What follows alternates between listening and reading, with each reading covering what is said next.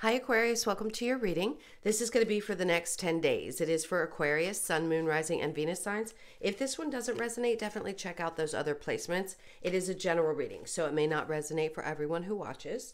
So, we are going to get into your recent past, your current energy in the near future, and then we will take a look at what's going on with you and your person. If you are returning, welcome back. If you are new, welcome. I hope you'll stay. uh, I am available for personal readings. I can get that out. uh, if you'd like one of those, the information is in the description box below or in the About section of my channel. All right, so let's see what's going on for you. I saw the Six of Swords. So that's our card of, you know, we're getting to a, a better place or we're getting to a place in our minds because it is a sword, so it's mental energy, of where we're feeling a little bit calmer.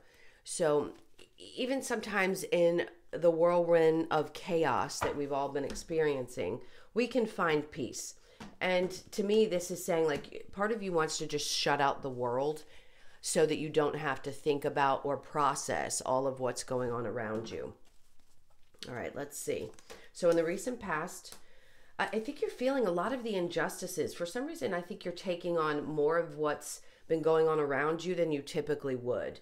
So, there's a feeling that it's kind of unsettled and you just kind of need to push away anything that's creating that imbalance in your life because you want to find that stability within. So in the recent past, you could have found yourself, you know, saying, look, like this is taking more than I can handle, even if it's just friends or family or work situations, not trying to be mean. I just need some space. Now, in the current energy, the Four of Cups, people could be coming in saying, Come on, let's go out, let's do this, let's do that. And you're just like, No, like, I need a break from the world. The Eight of Cups, you could find yourself in a position of saying, I'm not taking what anybody's offering right now. I need to walk away from all of this emotional overwhelm. Doesn't have to be somebody specific, it may pop up when we start to clarify. Three of Pentacles showing up right after that tells me that you just don't want to be in group situations or you know things that had not been working out maybe you had a collaboration somebody wasn't showing up the way you expected them to and a part of you's like you know what? This isn't coming together. I need to get out of this situation. All right. So in the near future we have the four of swords the world in reverse and the fool. So this is asking you after you think about this thoroughly something's coming up for you that needs to shift and change. And spirit's saying like you're gonna have to have faith. You're gonna have to take that chance a blind faith type of chance and know that if you do this when the fool is there it says there's usually a good outcome there's something in there your soul's pushing you to do so it's good to follow that because that's what's going to change whatever's going on in your life that's not feeling really settled or feels really imbalanced right now so the overall energy is the Three of Swords in reverse. So could that be that you are still working through a heartbreak? Some of you. I mean, there's so many thousands of people out there. If you're seeing this and you've gone through this and you know that energy is still a little bit there, okay, that's what you're you're going through. You're thinking through the injustices in those situations and realizing that you're much more stable on your own because something definitely hurt, but I feel like you're getting over it, which is a great sign. Page of Pentacles, maybe you're not really in a place where you want to jump into something brand new. You could still be just a little bit upset about it. Um, and again, this could be any area of your life. I'm going to say it's something to do one two things. I don't feel friendship or family. I feel either a relationship or a work situation that had you stressed out. Now, the Seven of Pentacles is saying you're kind of waiting uh, in a way, and maybe you're tired of it, and that's what's stressing you out, waiting to see what's going to happen. Now, the healing, yes, it takes time. That's part of that too. It's like, can you have the patience to allow yourself to take a break from the world so that you can heal and process? And that's what mental energy is all about processing it mentally, spiritually, emotionally, however you need to. I just feel like right now you're carrying a lot of that, or were, and you're wanting to get away from it the seven of swords pops up after that so and then the the high priestess which could mean that a part of you part of your intuition kicked up a notch and you had to realize that something was it was trying to show you something so if somebody was cheating or wasn't being honest and you felt that um, that's the injustice i think you were feeling in the past but the king of pentacles tells me that you know that you maintain your stability even when tough things are happening. Now, this could also be the support of someone who's strong, like a father figure, or someone in your life that really matters to you that you seek advice from. Could be even a boss. It just feels like someone who's stable, who might have experienced some of the same things. So if you're dealing with something at work that's been really disappointing or overwhelming emotionally, this person has really good advice. I'm going to say they've probably been through the BS and have a, a good understanding and may be sympathetic to where you feel these injustices are. So if it's in a love situation, maybe it's a father figure or somebody who has strong masculine energy that's a feminine that is stable could just be an earth sign Taurus Capricorn or Virgo and or they embody that energy. They don't have to be one of those signs and they just feel you know good. Like when you talk to them it helps ground your energy and helps make you feel like I can make decisions like I can get over whatever I need to. All right. I'm going to go through this because I forgot I was talking about it before, but I hadn't gone through all of them. So the Four of Cups, Eight of Cups, like I said, there's something that wasn't coming together. And because of this, it's like you don't want to deal with it, you don't want to see it. You just really, the center energy is saying, I really just want to walk away from this. Um, the feeling, even if it's not walking away from a job, you could just be saying, I want to walk away from the feeling, the overwhelm, the emotional baggage. I don't want to carry it with me anymore. I want to shift my energy so that I can deal with my situation without feeling so overwhelmed that way. And it could be also that somebody's coming up and saying, Hey, I want to offer love or come out and spend time with me or something of that sort. And you're like, This is just not working for me right now. I don't have the time for it. I need to focus on myself. All right, like I said, in the near future. So this puts you into a place of really thinking things through in the near future. And the world says that something has not changed yet, but you have the power to change it. So the Fool coming towards that card tells me it is in your control. It's not like you're waiting for the universe to shift something for you. This is you're getting the downloads in your mind. Even if you think they're your own thoughts, it's actually your guides or spirit or whoever is trying to help guide you. And it's happening through your mental space. So trust the things that you hear and feel. Definitely. We all have that ability to do so. It's just a matter of whether we trust it or not and then take that step that you feel guided to take because that's what's going to make the change is your action. Okay. Now let's go ahead and clarify the justice with the king of pentacles. This is for aquarius. Let me straighten these out just a hair. Okay. So we have the two of swords in reverse. So you made a decision. Um, i think this person probably helped you make that decision uh, this is pulling away any kind of deception or um, where you didn't have clarity about something. There's no confusion anymore. You really worked through whatever this injustice was. And then we have the Six of Cups, and that's what helps bring the balance in. So in this deck, the Six of Cups is actually uh, not them giving to others necessarily. Yes, they're helping, it looks like in nature, but it's almost as if they're feeding their own cups because they're all glowing in this card. So, what you're doing is putting back the energy into yourself as you work through this. And I think this person or energy that is there for you, it could even be someone that's passed on who you feel connected to, that you feel like is guiding you, and it's showing how to give but you know put your energy back into the right places so that things in your life balance back out. The king of pentacles with the nine of swords or i'm sorry nine of wands in reverse. See and then there's the ten of wands in reverse which is a good energy. It means you're not carrying that with you as i said before. And then the eight of wands things don't have to move at a rapid pace in order for things to be moving. One of the most common things as you're learning your spirituality as you're going through these shifts and changes is that you don't have to actually always be moving and there doesn't have to be action from other people for things to be going on in the other realms. In other words the guidance that you're being given. So if there's not a lot of open communication in the in the past or you didn't have a lot happening from other people it was because it needed to be worked out within and with you and whoever is there protecting you on the other side.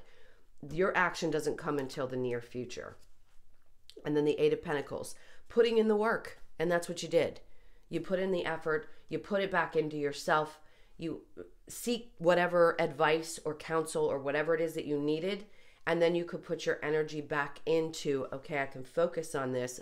I know I want to work really hard either on yourself which is just as important as any other kind of work you do. Work is not just about what you do to make money. It's about how you work in your family situation, how you work um, on yourself and in your relationships. All of those things matter. So I feel like you'll have the energy again to put in the effort into those things. So we have the Four of Cups with the Eight of Cups and the Ten of Pentacles in reverse. So right now, it's not that you're not abundant. It's almost as if Spirit's saying what what you desire is on the other side of you leaving all of this difficult emotional stuff in the past when you can. Obviously, you have to work through it first. And then we have the Page of Wands in reverse. So it's not being quite clear about the next steps in the current energy, not really knowing how to create that abundance that you want in your life. And that's okay. That's because you're in the stage of waiting, which a lot of us feel very uncomfortable in. But it will happen. Healing happens, um, moves happen, things will change to get you to the place where you're ready to take a chance again to make things look the way you want. They're never perfect, but when we go through big life shifts, it can be tough. All right, so the Eight of Cups with the Three of Pentacles, and then we have the Five of Wands. So this is very much about you learning the lessons that you needed to learn, and you're fighting through it. You're getting through it. You just haven't seen the sign yet. The only indication here is that you know that you need to step away from this and leave this emotional baggage behind. And then we have the Hermit, internal work. I mean, it's really guiding you perfectly through the recent past, current energy, and into the future. It's saying, be aware of those injustices. Be aware that you are just about to shed the skin. That's what a, a, snake does. You're shining a light on that and you're saying, okay, I'm actually shedding an old version of myself and I'm learning with the Five of Wands, the training, you're in training in how to do that and how to do it gracefully. And then we have the Fool in reverse. So this is saying that you don't have the energy right now to take that step. It's because it comes in the near future. So the Four of Swords with the World, we have Death card, big change. There it is. Scorpio energy, King of Cups in reverse. I think what you're going to do is approach things from a less emotional place in the future. And then the Ace of Wands. So there's a need here while you're thinking this through and getting yourself prepped to take this chance to fire yourself back up. And right now, your emotions could just be a little bit, in the near future, they could be a little withdrawn. And you need to do that so that you can find your tough air energy to push you forward. This is the fire energy that needs to be restored and that justice card. So you're still working through that feeling of injustice that you had experienced in the past the Page of Pentacles is saying that new opportunity is not quite there, but it's going to take you taking that step in order for it to be there. Um, there might be a part of you that has lost a little bit of faith, but I don't want you to because here it just says that you're a little bit tired. So it will come because that fool at the end tells me that you're going to take the steps that need to be taken in order to get you back to this energy, which is feeling really good about yourself. And it's in abundance. He's grounded. It's not easy for air signs to always get to a place where they're grounded. If you have a lot of earth in your chart, great. Um, all those factors come into play when it comes to understanding yourself. So if you're a little bit more of an emotional air sign, you probably have a lot more water. You could have a water sign um, in your moon or something like that. So it is good to get to know you and how you specifically deal with things. But this tells me you're going to take that chance. And not only does it put you in a, um, a stronger position, could put some of you in a boss position. So some of you that are seeking um, a business opportunity that would make you the, the boss, this is taking that chance to do so without any kind of fear because you have everything that it takes to create this. Okay, so I am going to clear this and we will get into the person that's on your mind. So think about them for just a moment and we will get into their energy and your energy. Okay, let's see. So the overall energy, it's funny how this came out. I like to see which card's going to sit on the top. If you've watched me before, I do this now. The Four of Swords is coming out in reverse instead of in the upright like it showed up, which means you're going to get out of your head. You're just going through a period of time where a lot of processing and thinking is happening. Okay, let's take a look at what's going on with you and your person. This is for Aquarius.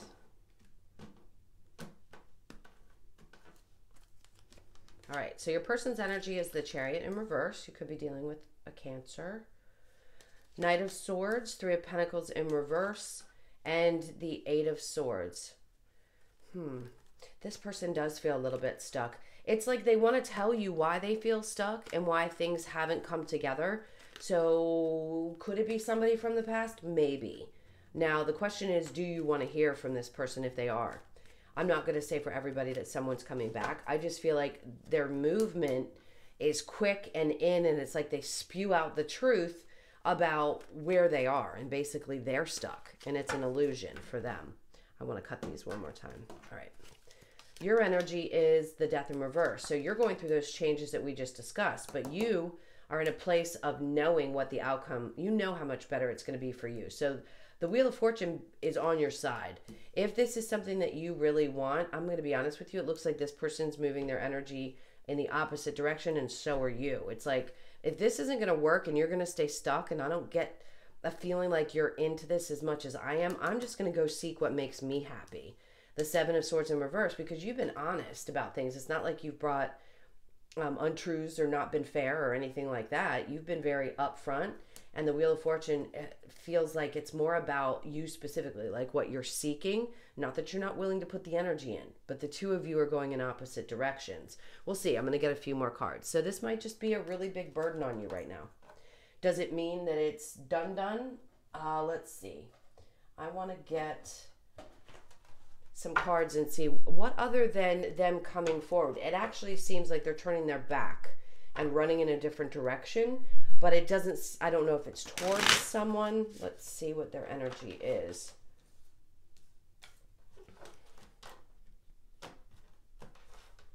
Maybe they're afraid of telling the truth. So the Hierophant, yeah, they don't have faith in this. I think a part of them wants to go and seek their own. Um, maybe they're just somebody who has a very strong sense of business and that uh, a need to be grounded more often and if things are a little up and down for you right now, maybe they're thinking, oh, well, I need to go seek this for myself. And then the 10 of swords or 10 of wands, they just don't want a lot of stress. So if there's been some ups and downs in this, that's what they're they're trying to do. They're trying to focus on that. So I don't know if their energy is really focused on making this work at this moment. Now yours says the world. There's that change that you're going through and then the Ace of Cups wanting to start something new. So if you want to renew this, um, obviously I can't tell you specifically if you're going to, but it feels like you want something new and something's changing in you. And this just may not be something that's meant for you. It may be that this person has to be cleared from your life so you can experience something completely different. And then we have the devil. So maybe a part of you feels a little bit attached.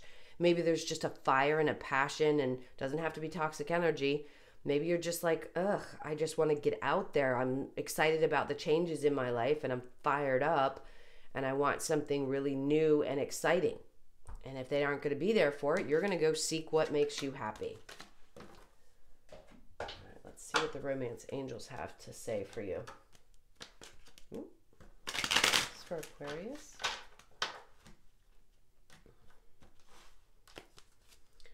Make the effort. Great love is worth taking the steps you were guided to take. This could be the one. You've already met the romantic partner you seek, so it could be for some of you. For others of you, you're seeking something new. Let your friends help you ask for and, ex- and accept support from others very soon. Clearly decide what you want so that it comes to you now. And I think that's being directed at you. You deserve love. You are lovable. Absolutely, you are. And if this person isn't showing it to you, sayonara. I know that's easier said than done. I'm not in your situation. If you love this person a lot, it can be really hard to let go. But I'm going to say you're going to go after what makes you really happy because if this isn't going to come forward for you and it's going to stay stagnant, I just don't think you're going to continue in it. All right, what am I grabbing? I'm grabbing the Lover's Oracle. This is for Aquarius. I feel the need to go back to this card for some reason, so I'm going to take it. Deep in your heart, you already know the answer. Do what feels right. Absolutely. Trust. Transformation occurs through acceptance. Once you accept the current situation, it will automatically transform. And then imagine all unwanted thoughts dissolving into light, creating room for new opportunities and possibilities for your life. That's what it feels like. Most of you are probably going to move on to something new or at least shift something so dramatically within this um, in order for it to work. I think that would have to be said very clearly in order for this person to get it because I just think they're just too stuck in their own stuff. All right, let's get a couple of cards from the Wisdom of the Oracle. For you. All right. Fork in the road, there you are. This does seem like there's a big decision that needs to be made. You could be born on the fourth, or the number four could be significant to you. And then it says exchanging gifts. That's a nine, and that is about wrapping things up. Sometimes it is a gift. The universe is saying, Look, I'm pulling this away from you because you have bigger and better things to do. And we want you to experience something that's more full. Um, the Ace of Cups, the feeling of like your cup runneth over. You deserve that. So if this is what they're trying to say, this ending could be a gift. And then deep knowing. When these two cards come out together, that really is a true indication that you know deep down in your heart what to do. So that reduces to a seven. I'm going to say seven could also be significant if you're dealing with a cancer. They could be born in the month of July or you are born on the seventh and then breathe. So this is relaxing into the energy. This reduces to 11. Some of you could feel like this is your twin flame, which, by the way, I define it very differently. We, we all do. To me, a twin flame is an empath and a narcissist, and they serve their purpose in your growth process. So, if you feel like this person is either a deep soulmate or a twin, just know that we experience many of them, and it doesn't mean you're supposed to stay with them just because there's some definition or label put on that. Because if it hurts more than it feels good, it's not right and it's not meant for you. Now, the overall energy, not for you. Interesting. I just said that. It was upside down.